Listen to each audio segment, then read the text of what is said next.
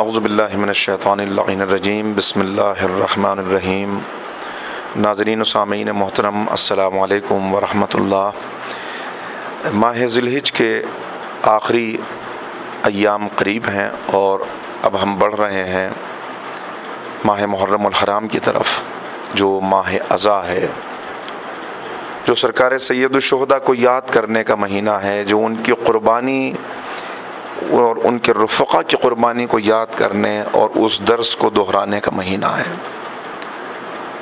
तमाम मुल्क के अंदर, बल्कि तमाम दुनिया के अंदर, हम मैंने मुल्क इसलिए कहा कि हमारे मुल्क में ख़ास तौर पर दूसरी कौमें भी हैं जो अपने अपने तरीक़े से अज़ाय सैदुलशहदा बपा करती हैं, सरकार सैदुलशहदा को नजरान अकीदत पेश करते हैं।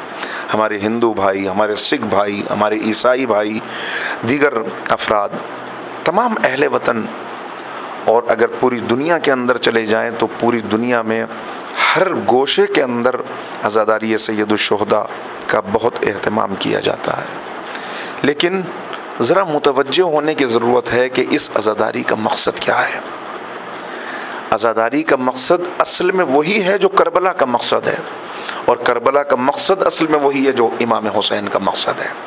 इमाम हुसैन का मकसद क्या है? क्यों आपने क़याम किया? अपने वतन को छोड़ा? क्यों मक्के के अंदर आपने हज से दो दिन पहले एहराम हज को एहराम उम्र से तब्दील करके अपना रास्ता बदल लिया और रवाना हो गए? मकसद एक ही था कि जो ऐलान आप करके चले हैं कि मेरे क़याम का मकसद क्या है? मकसद ये है कि मेरे जद की सीरत ज़िंदा हो सके। मकसद ये है कि जो तालीमात लोग फरामोश कर चुके हैं, भूल चुके हैं, उन तालीमात को दोबारा से याद करें। खरज तो तलब फ़ी उम्मत जद्दी में निकला, इसलिए हूँ कि अपने जद की उम्मत की असलाह हो सके। तो करबला का मकसद उम्मत महमदी अलैहि वसल्लम की असलाह करना है। आज़ादारी का मकसद भी यही होना चाहिए। ये आज़ादारी कोई रस्म की अदायगी नहीं है। ये कोई सोशल गैदरिंग नहीं है कि जिसमें हम जमा हो गए, बल्कि ये आज़ादारी एक मकसद रखती है। ये आज़ादारी मकतब है।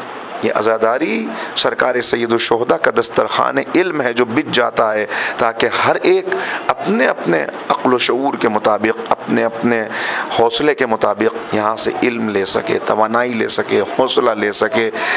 जुल्म के ख़िलाफ़ खड़े होने का क़याम करने का दर्स ले सके। लिहाजा कुछ बातें हैं जो हम सबको ख्याल रखनी है। चाहे वो बानियान मजालस हों, चाहे वो ज़ाकिरीन मजालस हों, चाहे वो नोहा ख़ान हों, चाहे वो अंजुमन हों, चाहे वो सामीन मोहतरम हों।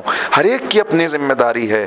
ज़िम्मेदारी यह है सामीन जब हाजिर हों तो इसलिए ना हाजिर हों सिर्फ़ कि हमें सिर्फ़ गिरिया करके कुछ सवाब हासिल कर लेना है। सिर्फ़ रो लेने से कौमों के नहीं, फिरते हैं दिन। खूब फिशानी भी है लाजिम अशक अफशानी के साथ। इस मकसद को लेके जाएँ कि हमें मकसद सैदुलशहदा को समझ कर अपनी अमली ज़िंदगी में किरदार हुसैनी और किरदार असहाब हुसैनी को लाना है। हर सामे की ये कोशिश होनी चाहिए। जब सामीन ये मकसद, ये हदफ लेके आएँगे तो यकीनन फिर इस फ़र्श अज़ा से वो दर्स लेके जाएँगे कि जो उनकी अमली ज़िंदगी में उनको, उनकी शख्सियत को तब्दील कर देगा, उनकी ज़िंदगी में इनकलाब ले आएगा। हर एक के अंदर एक हुर छुपा हुआ है। इसलिए कि ठोकर हम में से हर एक को लगती है, ख़ता हर एक करता है। लेकिन जनाब हुर का किरदार दावत देता है कि ठोकर खाने के बाद पलट आना, यही इंसान को नासिर सैदुलशहदा बना देता है, यही उस मंजिल तक पहुँचा देता है। लिहाजा सामीन का अपना एक मकसद होना चाहिए। अपनी ज़िम्मेदारी को पूरा करें। जो बानियान मजालिस हैं, उनकी अपनी ज़िम्मेदारी है कि अल्लाह ने उनसे एक काम लिया है, इमाम ने उनसे ये काम लिया है कि उनको बानी फ़र्श अज़ा करार दिया।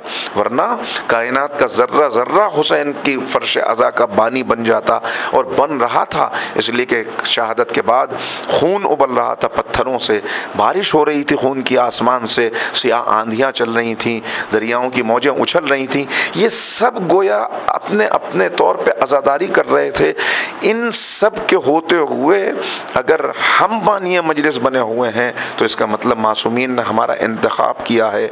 तो बानी मजलिस जब इस फ़र्श अज़ा को बिछाए तो उसमें ये जज्बा न हो दिल के अंदर कि मैं बानी मजलिस हूँ, लिहाजा मेरी शोहरत होनी चाहिए, मेरा नाम होना चाहिए। शोहरत तो मौला ख़ुद ब खुद दे देते हैं। नाम तो उनकी राह में जो काम करे उसका खुद ब खुद हो जाता है। लिहाजा खलूस के साथ फ़र्श अज़ा बिछाएँ, मजलिसों को मजलिसों से न टकराएँ, जाकिर को जाकिर से न टकराएँ। नोहा खान और नोहा खान को मुकाबला न करें। ये बानी मजलिस की ज़िम्मेदारी है, इसलिए कि ये मुकाबला आ रही आमतौर से उनकी तरफ़ से होती है। फिर ख़तीब मजलिस है, हर ख़तीब मजलिस की ज़िम्मेदारी है कि सिर्फ़ मोमिन से दादो तहसीन लेने के लिए वो बातें बयान न करें कि जिन बातों की कोई हकीकत ना हो, बल्कि वो पैगाम दें कि जिससे उनकी सीरत में भी तब्दीली आए, उनके किरदार में भी तब्दीली आए और हमारे लिए भी ये ज़िक्र सैदुलशहदा जो बहुत बड़ा एज़ाज़ है, जो बहुत बड़ी फजीलत है, ये सरमाया आखिरत करार पाए। लिहाजा हर एक की अपनी ज़िम्मेदारी है। अल्लाह रब्बुल्ज़त हम सबको ये तोफ़ी इनायत फरमाए कि जब हम मुहर्रम का चाँद देखें तो और तो महसूस हो कि ये मुहर्रम का चाँद हमसे ये तकाजा कर रहा है कि देखो, तुमने पिछले साल भी मुझे देखा था, इस साल फिर मुझे देखा है। बताओ पिछले साल और इस साल में तुम्हारी किरदार में कितनी तब्दीली आई? और जब आइंदा साल मुझे देखोगे तो तुम्हारे किरदार में क्या तब्दीली आएगी? वरना ये चाँद तो हर मरतबा निकलेगा, फ़र्श अज़ा बिछेगी। ऐसा ना हो कि रस्म की अदायगी तो हो जाए, मगर अमली ज़िंदगी में कोई फ़र्क ना आए। लिहाजा लाजिम है, हर एक अपने मकसद को पूरा करने की कोशिश करे, अल्लाह ताला हमें तोफ़ी इनायत फ़रमाए कि हम वाकई मकसद करबला, मकसद आज़ादारी को पूरा कर सकें और सरकार सैदुलशहदा हमसे राज़ी और खुशनूद हो जाएँ। वालकम वरहमल